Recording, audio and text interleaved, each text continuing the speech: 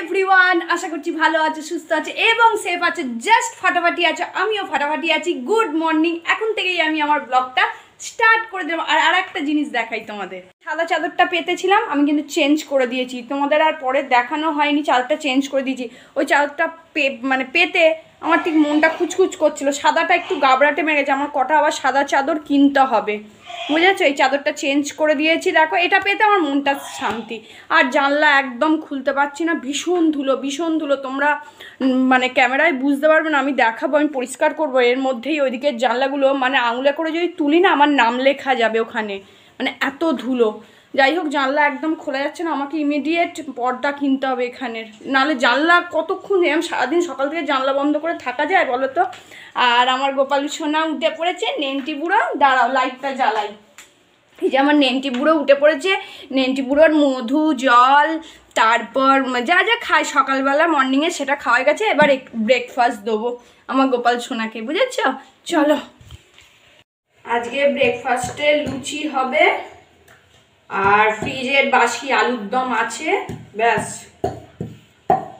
এই দিয়ে আজকে আমাদের ব্রেকফাস্ট হয়ে যাবে।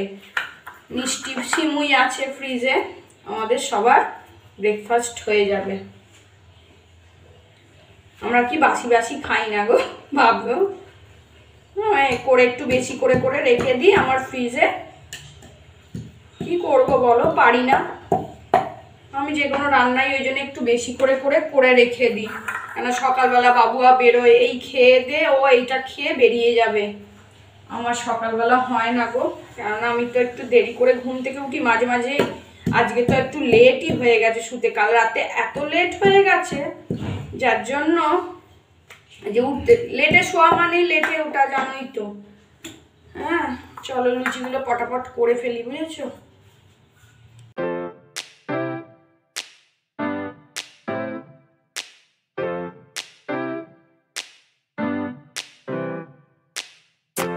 Artlist.io.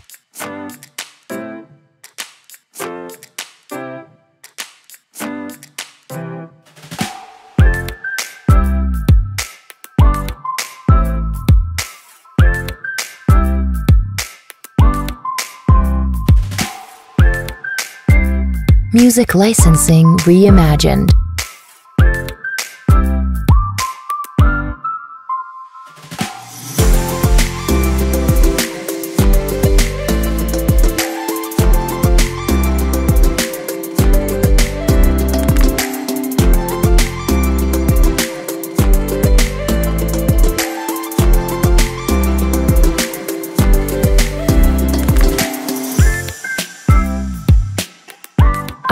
Artlist.io. ওকে খেতে দিয়ে দিয়েছি, আর ওদিকে গোপালুকেও খেতে দিয়ে দিয়েছি। এই যে আমার গোপালু সোনাকেও খেতে দিয়ে দিয়েছি ব্রেকফাস্ট আর সিমুইটা বার করলাম না, বার করতেই ভুলে গেছি ফ্রিজ থেকে। ঠান্ডা, বাবুয়া বলছে ঠান্ডাটাই বার করে দেয়। না ওয়েদার চেঞ্জ হচ্ছে, একদম নয়। আর স্বপ্না কিছু কাজ করে চলে গেছে, আমাদের অবস্থা জানলা দরজা কীভাবে বন্ধ করে থাকছি সকালবেলা, বুঝতে পারছ? কি করব? চলো। রান্নাঘরটা এবার মুছে নি মানে তেল টেল পড়েছে না, মুছে নি। যে এসে গেছে, ওখানে থালায় দিয়ে দিয়েছি। তোমরা রোদ্দুরে হয়তো দেখতে পাচ্ছ না যে লুচিগুলোকে ছিঁড়ে ছিঁড়ে দিয়েছি।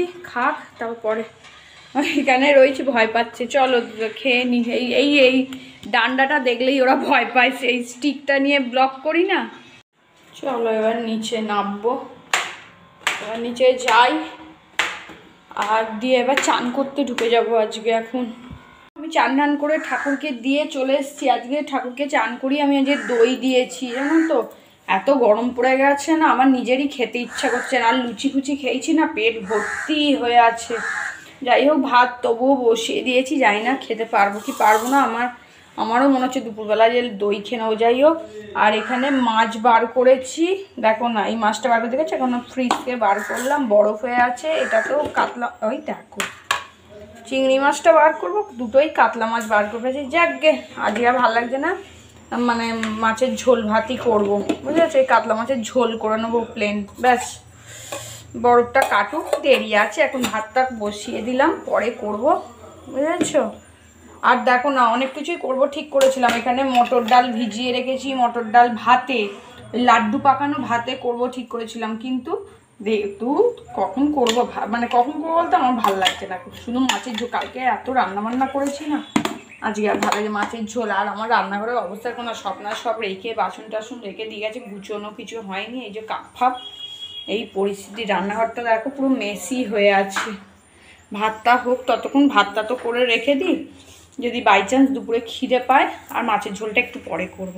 একদম ইভিনিংয়ে তোমাদের সঙ্গে দেখা করছি। দুপুরবেলা আমি দই খেয়েছি আর দু পিস মাছ মাছ ভাজা করে খেয়ে চুপ করে একটু শুয়ে পড়েছিলাম ঘুমোইনি হালকা করে একটু শুয়ে নিয়েছি, একটু রিল্যাক্স করে নিয়ে মুড পুরো মুডটাকে নিয়ে চলে এলাম তোমাদের সামনে আর ওই মাছের ঝোল এখন বসিয়েছি, বুঝেছ? এখন পুরো বিকেল গড়িয়ে সন্ধ্যা হয়ে গেছে। কাতলা মাছের ঝোল আর চিংড়ি মাছটাকেও বার করে রেখেছিলাম, জানো তো? যে চিংড়ি মাছটা কিছু একটা করব। আর ফুলকপিটা, আর কাতলা মাছটা, ফুলকপি দিয়ে ঝোল করা। আর দুপুরবেলা আমি দু পিস মাছ ভাজা আর দই খেয়ে শুয়ে পড়েছি। ওই ঠাকুরের প্রসাদের দই দিয়েছিলাম না, সেই দইটা খেয়ে নিয়েছে দু পিস মাছ ভাজা খেয়ে নিয়েছি। ব্যাস, আমার দুপুরে আজকে লাঞ্চে হয়ে গেছে। এবার মাছের ঝোলটা বসাচ্ছি কেন? আমার রাতের লাগবে, কাল দুপুরে সকালবেলা দুপুরের লাগবে, বাবু আজকে বেরোবে। ওই জন্য মাছের ঝোলটা এখন বসিয়ে দিয়েছি। শুনতে পাচ্ছ? ফটফট করে মাছ ভাজার আওয়াজ হচ্ছে আমার দেখা আলু ফুলকপি কেটেছি, আর এখানে চিংড়ি মাছটাও বার করেছি। দেখি কিছু একটা করব চিংড়ি মাছটা। আর এখানে মাছ ভাজতে বসিয়েছি এই যে। ঝোল হচ্ছে ততক্ষণ। আমি এখানে হঠাৎ একটা রেসিপি মাথায় এসে গেলো, চিংড়ি মাছটা দিয়ে। এটা আমাদের মা মানে আমার শাশুড়ি মা করতো, বাবুয়ার জন্য দেখেছিলাম। আলু আর কুমড়ো আর উচ্ছে, এই দিয়ে ফ্রাই হবে। দেখো, আর পেঁয়াজ কেটে নিয়েছি। আর এখানে চিংড়ি মাছ দেখেছ, আর লঙ্কা একটা নিয়ে নিয়েছি, কুচিয়ে নেব, ব্যাস, এটা দিয়ে করব। এটা করে, এটা খুব টেস্টি জানো তো? হেভি খেতে লাগে, এই দিয়েই পুরো ভাত খাওয়া হয়ে যাবে। কিন্তু বাট আমি তো খেতে পারব না, চিংড়ি মাছ দেওয়া আছে। যাই হোক, তোমাদের সঙ্গে এটা আমি শেয়ার করব ছোটো কিছুই করার নেই। আলাদা আলাদা করে শুধু সবজিগুলোকে একটু ভেজে নেওয়া, চিংড়ি মাছটাকে ভেজে নেওয়া, ভাজা ভাজিয়া টাইপের বুঝেছ? হবে। আর খুব টেস্টি হয়, বুঝেছ? তোমাদের সঙ্গে একটা না রান্না না আমার শেয়ার করলে আমার মনে হয় ব্লগটা আমার ইনকমপ্লিট হ্যাঁ আমার ভাবছিলাম ব্লগটা যে আমার বড় হয়ে যাবে, আমি আবার দেখাবো, থাক পড়বে কিন্তু আমার মনটার মধ্যে খুচখুচ খুচ খুচ খুচ করছে যে তোমাদের না দেখালে আমার ব্লগটা ইনকমপ্লিট তাই আমি ভাবলাম এটা তোমাদের সঙ্গে শেয়ারই করে দিই। খুব টেস্টি খাবারটা, চটজলদি গরম ভাতে খাওয়ার জন্য ভাটাভাটি। আর এখানে উচ্ছেও কেটে নিয়েছি। উচ্ছেটা হালকা একটু পেকে গেছে, জানো তো? উচ্ছেটাকে কেটে আমি নুন মাখিয়ে রেখেছি। তাহলে কি বলতো? উচ্ছের তেতোটা অনেকটা কমে যাবে। আর ভাজাটাও তাড়াতাড়ি হয়ে যাবে অয়েলটাও কম লাগবে। কড়াতে কিন্তু আমি মাস্টার অয়েল দিয়ে দিয়েছি সর্ষের তেল দিয়ে দিয়েছি অবশ্যই এটা সর্ষের তেল দিয়েই করবে, তবেই খেতে ভালো লাগবে। আর চিংড়ি মাছগুলোকে হালকা করে ভেজে নেব। চিংড়ি মাছ বেশি ভাজলে, যে কোনো রান্নায় বেশি ভাজলে কিন্তু একটা সেই রাবারের মতো হয়ে যায়। হালকা করে একটু চিংড়ি মাছটাকে ভেজে নেব। ঠিক আছে? ঢাকা দিয়ে রাখি। আমি তো কম তেলে রান্না করি, একটু ঢাকা ঢাকা দিয়ে দিয়ে করি। চিংড়ি মাছটা হালকা করে ফ্রাই করে নিয়েছি। এবার এটাকে আমি তুলে নিলাম।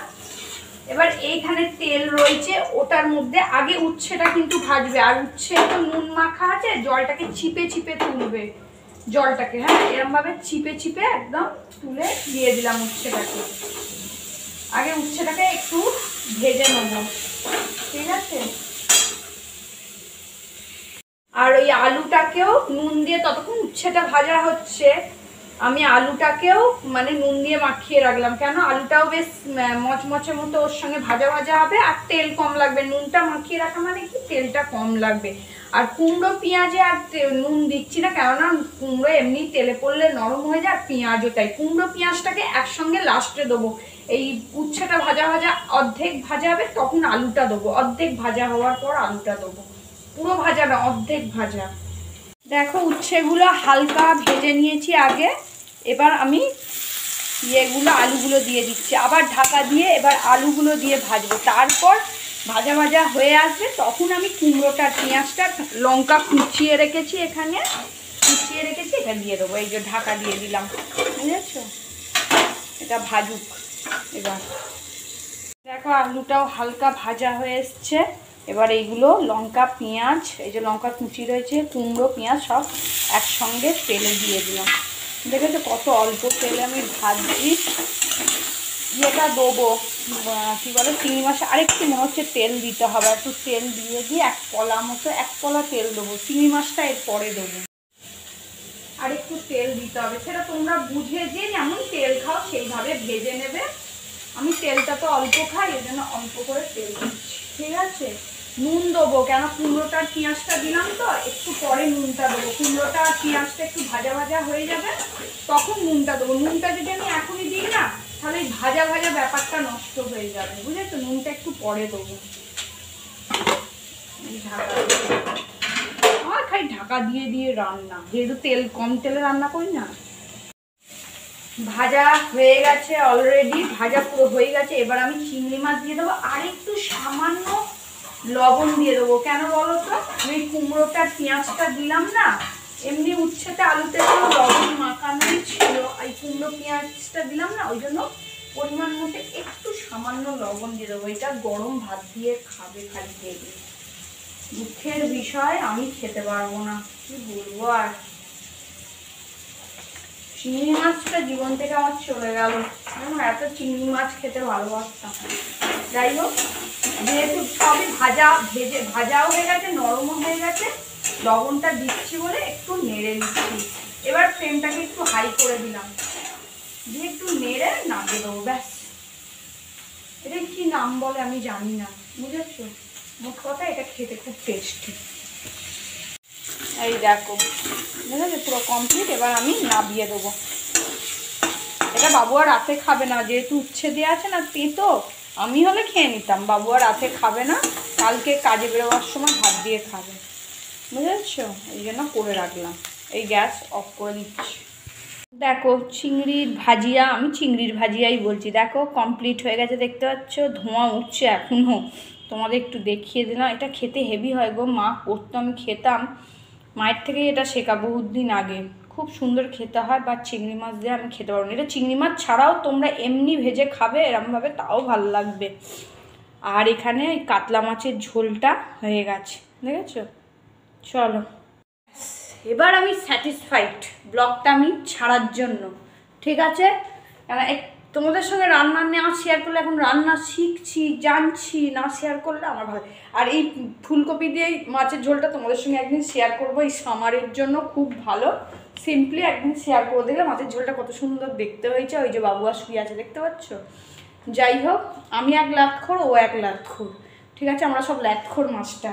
ঠিক আছে? তাহলে আমি আমি ব্লগটা আমি এখানেই এন্ড করছি। ভালো থেকো, সুস্থ থেকো, এবং সেফ থেকো। Love you take care